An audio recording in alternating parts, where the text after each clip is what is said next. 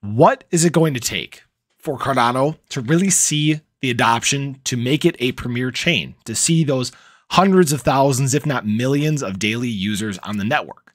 That's what I want to talk about in this video. Now, obviously, Cardano is going through a ton of developments right now. They're building out the infrastructure on this vast ecosystem. Okay, that we know that there's multiple stablecoins coming in Djed and USDA.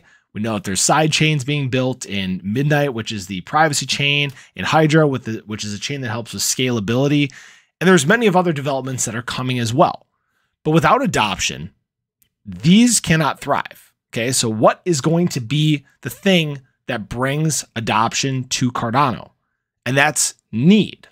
Now, Cardano is a need based solution. I want to talk you guys through this. Okay, Cardano has never been about the flash, the pizzazz, anything like that. They're they're not about this huge promotion and, and trying to do things that way.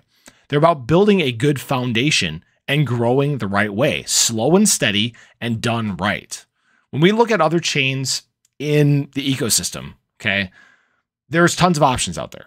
Layer ones, layer twos, and each of them have their pluses and minuses. Okay.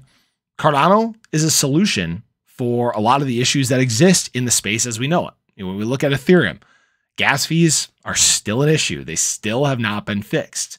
What's going to happen when transactions are again $1,000? what are people going to do? Are they going to continue to try to pay $1,000 a transaction? Or are they going to look for something different, something cheaper?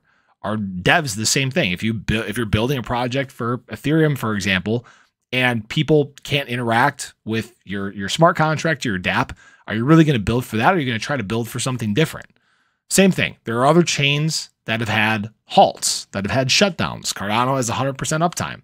If you're a de- if you're a dev or if you're someone who's looking to get into crypto and you see something that has these these halts and these chain shutdowns, why would you go to that? You'd look for something that has 100% uptime.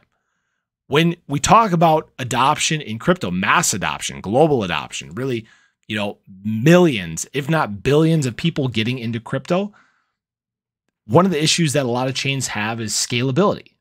Okay. Cardano does not have an issue with that. In fact, it's getting more scalable by the day with the sidechain solutions that they have. This is why Cardano is a need based solution. And the great thing is, is that need is going to be the catalyst and need is coming. Do not get me wrong. Need is coming. And I think it happens this cycle. I think this is really where people realize, oh, Cardano is the solution. At some point, there's going to be that, uh, that aha moment, and people are going to realize all that Cardano has to offer. Now, Cardano is not, you know, dead or a ghost chain or anything like that. You know, we looked at the the on-chain um, statistics, the daily users, daily active users, and Cardano has about 75,000 daily active users right now, comparing to some of the other networks, Ethereum and and um, was it Ethereum and Polygon are both about 330,000 daily users. BNB is the largest with 700,000 daily users. And this is going to be an ever ever changing landscape, right? Crypto continues to change on the daily.